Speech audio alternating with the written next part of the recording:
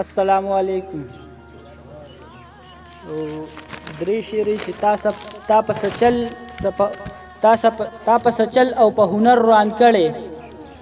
تا په سچل او په هنر روان کړي د خپل لاس د خپل در روان کړي ما ورته خو ویلو چې جنگ نه کوو ما ورته خو ویلو چې جنگ نه کوو د نن په خپل خپل اختر روان کړي او هغوی له ګل ګل قندهار روان کړي مونږ له دلته ګل خیبر روان کړي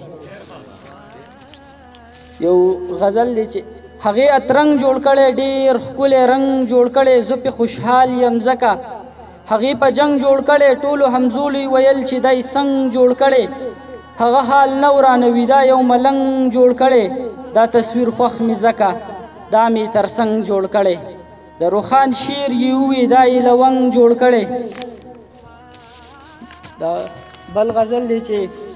د دې دنیا مایوسه شوی یم د ژوندانه مایوسه شوی یم یارانو تاسو خان دی زه له خندا مایوسه شوی یم او دې ګاونډي ته مې اواز کوو خو ستا له نامه مایوسه شوی یم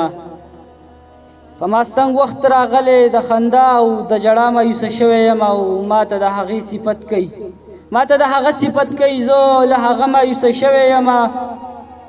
روخان چې ولید وی د رقیبه مایوسه شوی یم والسلام